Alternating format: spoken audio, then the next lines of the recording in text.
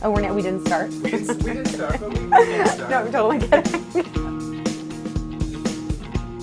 I've never had any bad jobs. I worked at California Pizza Kitchen when I was in high school, and I was a hostess, and I loved it because I got free food and I was tipped out by the wait staff, but I didn't have to do any of the waiter work. In college, I worked at California Pizza Kitchen in in LA.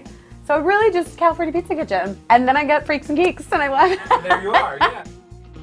Most of the time we're filming those scenes drinking wine at like 10 in the morning, so it's mostly just grape juice. Occasionally there'll be a Friday night where we're filming a group scene outside and maybe we slip the prop guy a 10. I can neither confirm nor deny that. I do not want to get in trouble with my network or my producers. Theoretically, one could think that possibly at some point we may be drinking real wine. Believe it or not, there are writers on the show. It is not all improv. I know through my Twitter account that people are actually playing penny can now. It's caught on.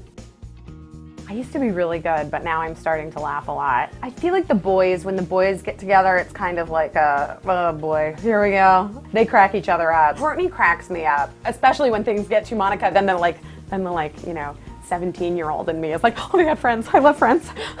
You know, she'll just say a line that sounds like, what, like what was her thing on Friends? Like, come on, Yeah, or like, yeah. shut, get out. No, wait, that was Elaine. That was Elaine, That's yeah. Elaine. I mean, I don't know if it was I mean. I think that's Chandler. Yeah.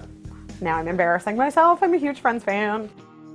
Walking Dead, I'm behind, don't tell me. Top Chef, so excited about the new season. I'm excited for Men of a Certain Age. Oh, you know what show I love? Is The Event and Community, and I love Community. And 30 Rock and Parks and Rec, I'm so excited for Parks and Rec. I think that's my, maybe my favorite show. I don't believe in guilty pleasures. If you like watching something, it's just a pleasure. Can we just stop this? Like, listen, if you see me at Starbucks or like in the street, don't come up to me and be like, I know it's so lame, but I love your show. Don't tell me I'm thinner in real life, and don't tell me that it's embarrassing, but you love the show. It's not a guilty pleasure, it's just America. a pleasure. You like it. Hi, this is Busy Philipps, and you're watching TV Guide Magazine.